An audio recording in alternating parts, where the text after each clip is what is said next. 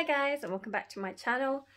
So today is the 21st of November and I'm heading to St George's Hospital in Tooting for my meeting with my new doctors, the new team basically. And they're going to tell me or discuss with me about what the next steps are. Because obviously I've had two fibroid resections in Worthing Hospital that are total fails. So now we have to find another way to get this fibroid out. Unfortunately, Paul was meant to be taking me, but he's got COVID. So I'm going to be going with David. So we'll be leaving about 10 past, well, quarter past, let's just say. Quarter past 12. At the moment, it is 11. I've just got my bags ready and I'm just getting my coat.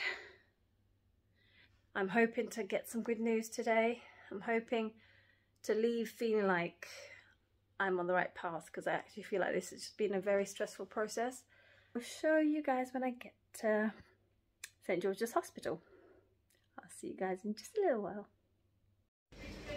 So guys, we are at St George's Hospital, Tooting. I've just checked in.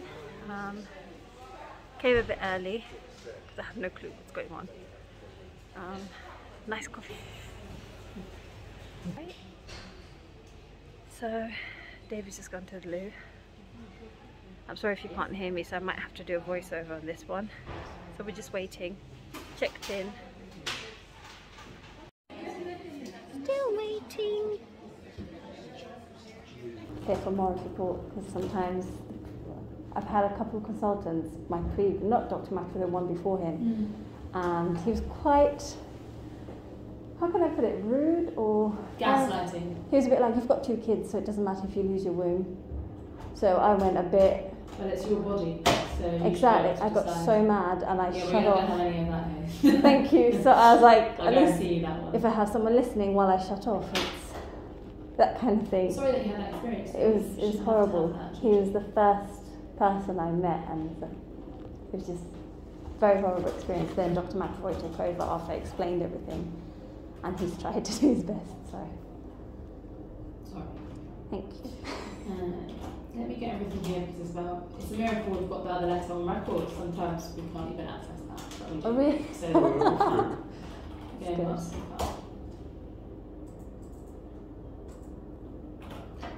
This is your first time seeing us? Yes. Okay. Where are you based? Shoreham by Sea. Near Brighton. Yeah, near Brighton. Yeah, yeah that's what I thought. yeah, near Brighton. How long was it taking you to get here today? About an hour and 30. I know it's 30, but then. It's the car park situation, yes. Oh, yeah, yeah. it's cycle now. Really? That's good for you. Yeah, I know. But not in the rain. That was no, today was. Today was. Tell me what's been going on. How from the beginning. Okay, so in June of 2021, I went and had a private scan, mm. and they found a mass. The lady couldn't confirm what it was transvaginal internal. Yes, internal. Yeah, internal. 2021. Yes. And then she found a mass, and she couldn't confirm what it was, but she said it looks like a fibroid to me. And I was like, oh, that's weird. You know, I've never, never known to have fibroids. Never, no, never. Because they would have scanned you before you did your yes. Yes. Yeah. And it wasn't there. And I'm having the scan. They, I took it to my GP. They forwarded it on to Worthing Hospital. Mm-hmm. What is the fibroid that he said? He said it's he called it a submucosal fibroid. Posterior. Yeah, and it's basically just blocking the tubes. Then. Then he did. Um, yes, I was put to sleep, and he resected. He said half of it, but there was a lot of bleeding, and my blood pressure dropped, so I had to spend a night in hospital. And then he said, okay. So they put me on norethisterone tablets for. Ten- how often were you taking? I was taking it three times a day um, for 10 weeks. Five milligrams? Yes. Five. So on the 9th of August, I went in for the one again, put me to sleep for him to resect the rest. But he said there was too much bleeding. The fibroid had grown to a point where he said it had covered the cavity of the womb. So he couldn't resect it safely without obviously hemorrhaging and causing me to have a hysterectomy. And that is the safest route is to stop the surgery. So they stopped the surgery. I went home, and that's when he sent a referral here. I've been having extreme bleeding to a point where I became severely anemic. My levels were two, and I had What to have two? my ferritin levels were two. So I had to have an eye infusion on the 9th of, Sept- uh, 9th of August. August. No, no, just recently. Last just November, 9th of November, I had to have a. What was your hemoglobin? Do you know? I have it on here actually. So just waiting for the doctor to get back with the consultant and they make a plan and then they're going to come talk to me. Just giving a bit of history at the moment. So now the hard stuff begins. Yeah. We go in and we remove all of the fibroids that we can see and it's safe for us to remove. Um, sometimes when we do that, so if you imagine you've got your uterus here and then you've got the lining of the womb like that, Yeah. um, when we're getting the fibroid, we can cut into the lining of the womb. If we do that, the only thing that changes is we tell someone they need to have a cesarean section. But in someone who's had two cesarean sections, if you were to have a third baby, we would be recommending a cesarean section anyway. Yeah. Does that make sense? That's fine. His reasoning, he thinks, why that is the best option for you is that if we do something keyhole, we not, might not be able to get other fibroids out, we might be able to get one or two, Yeah. and these fibroids are going to continue growing. We want to give you the best possible chance of getting as many of the fibroids Mhm. and then giving you the best possible chance of getting pregnant after that. Okay. Um, having it open and doing it, having it open like this, Yeah. is technically more risky than a keyhole one, but we think that's what we need in It's order okay. to get this. He doesn't want to try for another hysteroscopy because we've tried that multiple times and we don't think that's going to change you. anything, and that's why you've been referred here so we can Yeah. do something Thank about you. it. Yeah. What would be helpful is I'm going to write a letter and that will go to your GP in the next couple of weeks. And I'm going to advise that you definitely get that second um, iron infusion because we don't want your blood levels to be low before you have a complicated surgery. Yes. Yeah. And we recommend that your GP prescribes you that norethisterone I've got it already. I've got three now boxes. until you have your surgery. Okay, so from, from today onwards. Yeah. Because we don't want you to be bleeding and losing your blood before the surgery. Before the surgery. Okay. Does that make sense? I've got three boxes at home at the moment. That's fine. And I'll What write is this to the, prescribe more. the is this the drug The that drug that uh, stops it's progesterone. basically makes you as No. if you've had the menopause? No, no, No, no, that no. was Zoladex. This That's is the tablet that stops. It's progesterone basically. Stops you from having periods. Ah, So so it stops the bleeding. it's like a hormone. Yes. Exactly. Yes. Yeah. That's fine. So that's what we'd recommend. Yeah. Give that to you. They should be able to issue that without you having to see. Yeah, no, them. I think I still got it on my prescription list anyway, so I Oh, can order perfect. it today as well, get some extra. Um, I'm not going to go through the consent form today, even though I am going to list you for the surgery today. The reason for that is the waiting list is probably around about April. Oh, That's the thing. And if I do the consent form now, who knows? You might want to go through all those questions again. It's, it's more. It's better that we get a doctor to do that with you closer to the time, and Yeah. we'll see you Yeah. before then to go through everything before your surgery Yeah. to make sure that The everything is ready for and that. Okay. Does that make sense? And sense? is April the earliest time? Sometimes there's cancellations and they call earlier, and with Yeah. this consultant's clinic, he manages his lists himself. So when it, if there is an opportunity, it will happen. I mean, obviously she'd be keen for it to be sooner Yeah. rather than later. Whatever this has been space, going on it's, I know, I feel I like can't- it's too, yeah, This is not in my hands. unfortunately. Mm. yeah, of course. Okay. Um, but I will list you for the surgery today, and we won't need to see you again. We have to just list you straight away and go straight forward with the Yeah, surgery. okay. Yeah. And Perfect, your thank name you. again is? Sajita. Sudika. Sajita. Sajita. Sujika. I've got it, yeah. Um, anything you want to ask? Anything? No, I'm just pleased, even just hearing the fact that your option is surgery instead of going through hysteroscopies a zillion times more. No, no, we don't.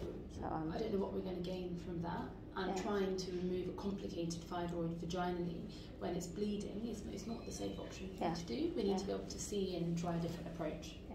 Yeah. And it's, it's the thing is it's posterior, so it's at the back of the uterus, so it's very difficult to access that. And it looks like from your hysteroscopy you were bleeding just when they were trying to get to it, so that's Yeah. not safe for you. Yeah. Um, this is we'll be able to see. That So. April and or earlier if we're lucky, yeah. and then uh, in hospital for how long? Yeah, so I was Is going that say the- recovery is actually quite similar to a The cesarean C-section. section. Is that three days in hospital, six weeks recovery? Yeah, I'm, I'm pretty up to date with that part. It might doing be a that, little not bit doing more that. complicated um, in terms of getting access because you've had two surgeries before. But these are we're gynecologists, so we're used They've it. done, yeah, they've done it There's, quite. there's no problem. Will you be in the surgery with him? No way we know who's is going to be until Oh, you know the oh, date. Oh, Does that make oh, Okay. sense? you Do you know how long before I get a call to confirm or a letter to It should confirm be a date? roughly about a month before that we call you for your pre-assessment. Yeah. And we call you for your pre-assessment a little bit early to make sure that we're happy with your blood levels. We've got all your swabs, everything done, and right. so that on the day there aren't any delays. Okay.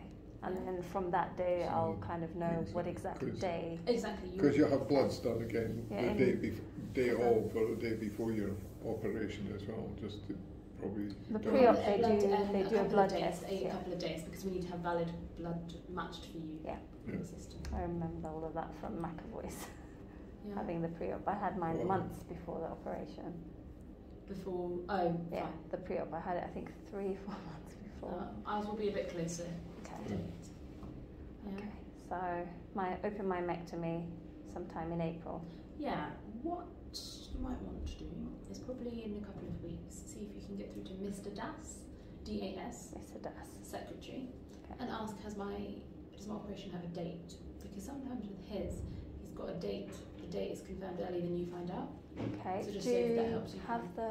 I think I actually have a secretary's number, but I don't know if I did. Do you have a secretary's number? Just gynae, I think we just have to email them. Hold on. let's- Das, D-A-S. Yeah, Das, that's the main yeah. thing that you need to Is he Mr. Das or Dr. Das? both. That's fine. Boy, he's probably both. Doesn't matter. Uh, let's see if I've got any shortcuts here.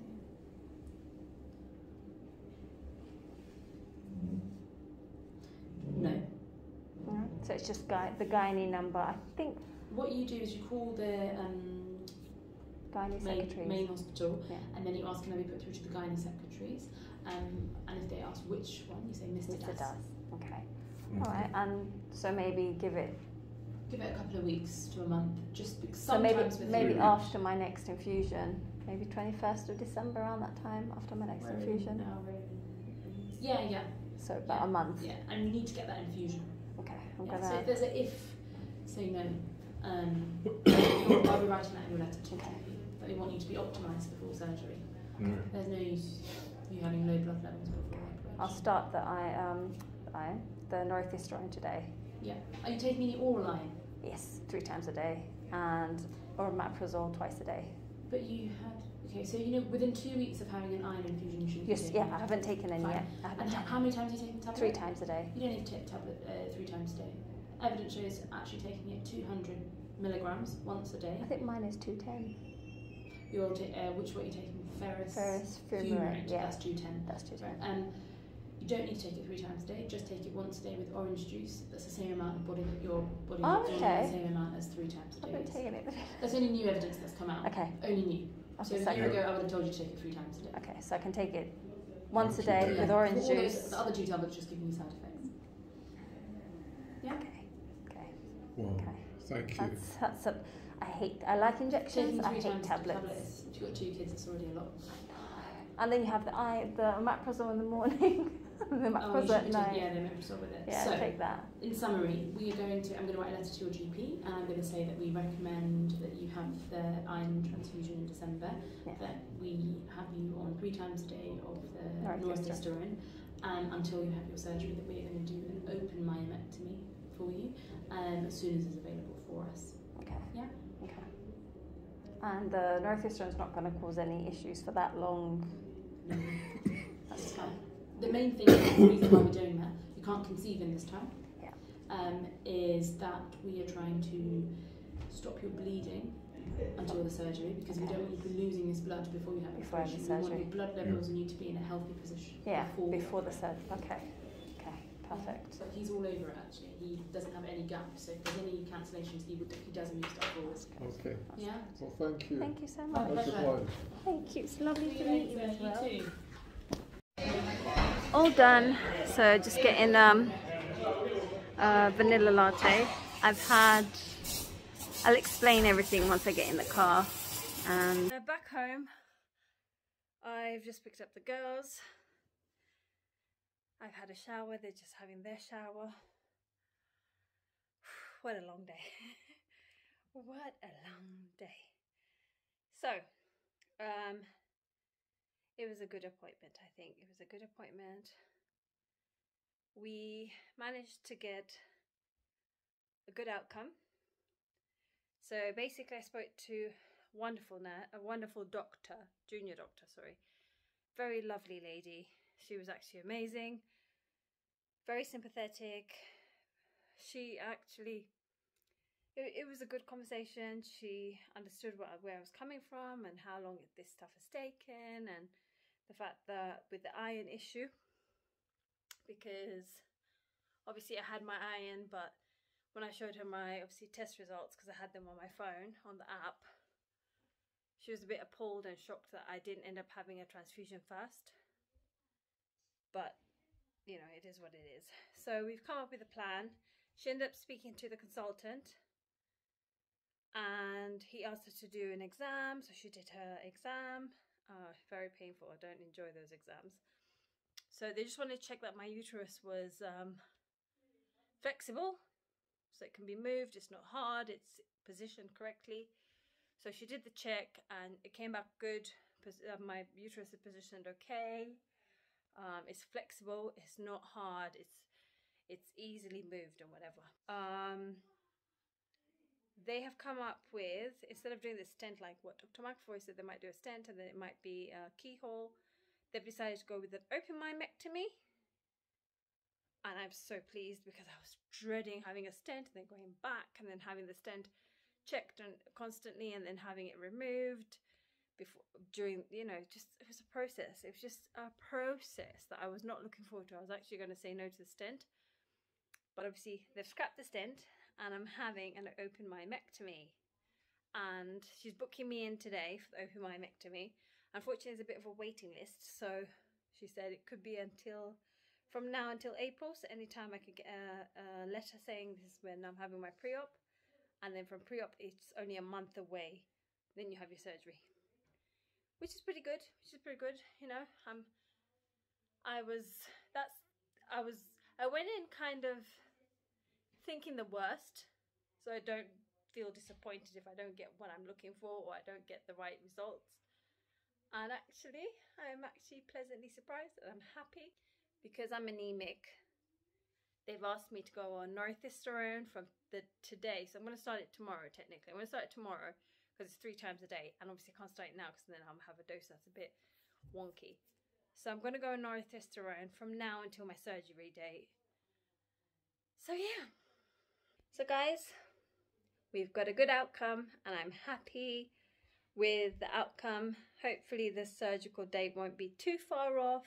Obviously I will take you with me on the surgery date because gosh, it's been so long. From 2020 to 2022. Hopefully beginning of 2023 I'll having, be having this fibroid removed and that will be the end of this horrible journey to get this fibroid resected. So fingers crossed it's sooner than April, but if it is April, you know, at the end of the day, I want this done for my health, for my future TTC plans. I need it out and I'm happy they've picked to do an open myomectomy because that was what I was going for and I'm so pleased and I'm okay because I can still take the northisterone, I'm not, it gives side effects aren't that bad, but if it gets me to where I need to be, I'm okay with it. My day at St George's Hospital and getting the outcome I wanted. Thanks for watching. See you next time.